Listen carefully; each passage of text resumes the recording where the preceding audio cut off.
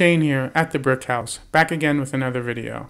Today, I'm going to be reviewing the LEGO Creator 3-in-1 Set 31119 Ferris Wheel. This set is designed for kids ages 9 and up. Now, since the set is designed for kids ages 9 and up, I had my soon-to-be 9-year-old son do the build. Overall, the build took about two and a half hours and it was pretty straightforward. He had relatively no trouble building it and he never asked me for assistance, except near the end where I had to help him press in these hammers that help support the cars. Now, during the build, it starts out with the base, you then build the spokes of the wheels, and then the wheel rims themselves, and then finally the cars. He enjoyed putting the base together, and then he started building the wheel. The wheel was pretty straightforward. However, these outer rims did become a little repetitive, and the cars were pretty straightforward. Once he got one together, they all kind of came together.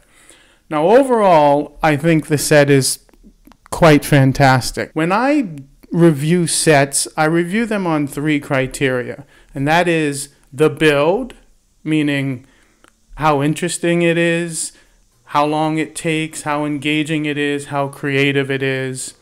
The overall finished design, meaning does it look like what it's supposed to, and then finally the playability. I know that many people talk about the piece count and that adding value to the set, whether it's 7 cents a piece or 8 cents a piece.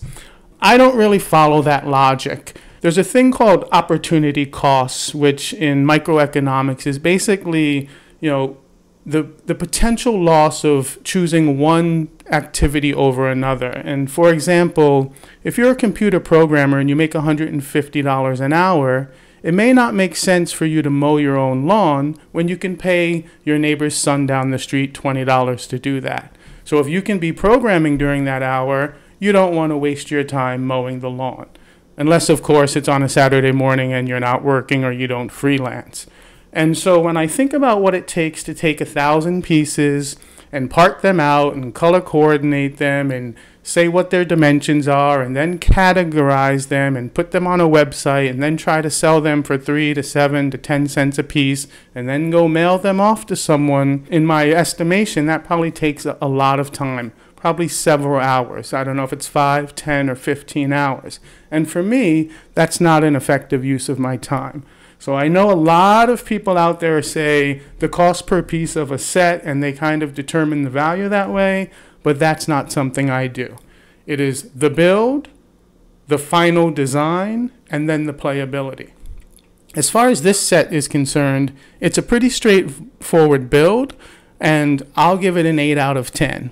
There was nothing too complicated. My son did think that the wheel became a little repetitive after a while. These carts, which are really nice, they have kind of a flaw is that most of these minifigs cannot get in standing up. You have to kind of put them in the seating position, except for the young child, which I think is a little bit of a, a a little bit of a mistake on Lego's part. They could have made these a little a little longer or maybe even a little wider to fit the minifigs in.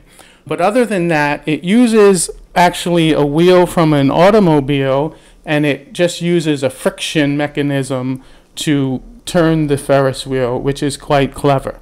You know, the beauty of this Ferris wheel is, you know, my son was also kind of amazed that these carts, like a real Ferris wheel, actually stay for the most part, down, obviously through the force of gravity. They do work better if there is a weighted person in there, just like a real Ferris wheel, because if we talk about the physics of a Ferris wheel, which I started beginning to talk to my son about, um, he was interested for a moment and then kind of uh, started tuning out. But the weight of the person has gravity pulling down, the wheel uses centripetal force to spin, Gravity pulls the person down so the cart stays kind of vertical north and south. Very clever. One of the things I really love about this Ferris wheel. From a finished design standpoint, it looks just like a Ferris wheel. It's really quite clever and fantastic. I actually even like the little fun logo they put here. It's a bit whimsical, and I think that for a, a kid set, it looks really great. Another thing about this set is it is kind of the Goldilocks size. It's the perfect size. It's not too big, it's not too small. If you look at the roller coaster, it's, you know, if you put it in a Lego city, it would just overwhelm your city unless your entire basement or house was the Lego city.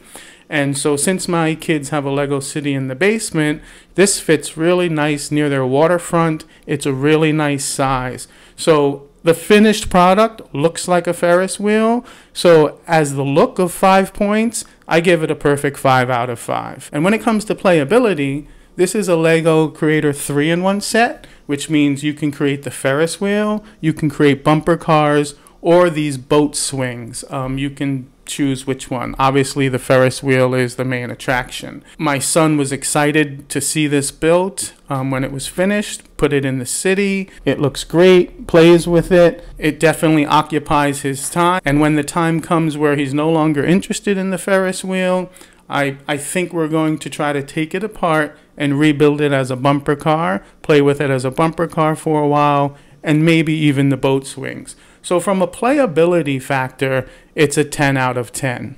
Another thing about the Ferris wheel is the design of the steps. I think that the hand railing is quite unique.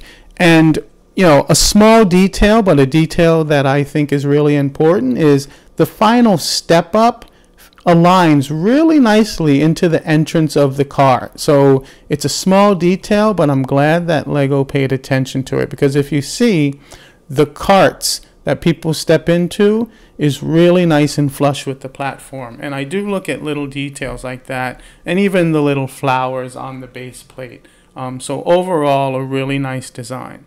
In addition to the Ferris wheel, you have these five minifigs and you have this ticket booth. The ticket booth kind of has a everyone is awesome rainbow color on the top and they have a ticket booth clerk in there and she has a happy face and she has an alternate face which is a mad face. So perhaps there's a disgruntled customer that is frustrating her. Um, and i really like uh, i don't know if this is popcorn or cotton candy and then a cash register but a, a really nice clever little booth. They also have a balloon salesman with a little balloon cart selling balloons. He does not have an alternate face they have this young woman who has a happy face and then kind of a alternate snarling face.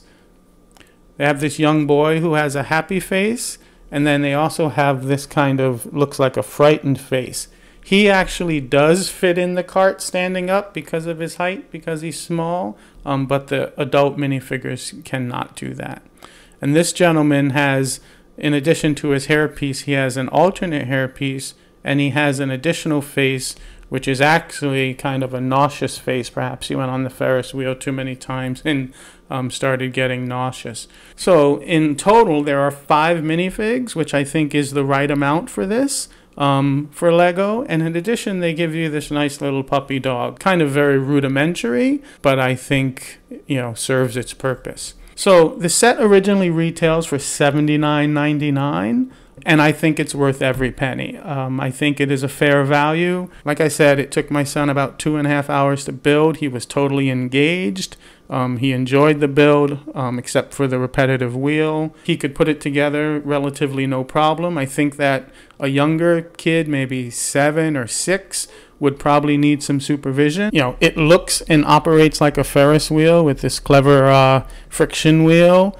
The carts work very nicely and it looks quite fantastic. If you have young kids, I highly recommend you go out and buy this. Um, if they're Lego fans, it's definitely an engaging, interesting, fun build for a kid. If you have grandkids, I recommend you go and buy this. You are definitely going to get your money's worth, and it's one of the cooler sets Lego has come out with in 2021. So that's my review. Don't forget to hit the like and subscribe button, and I'll see you next video.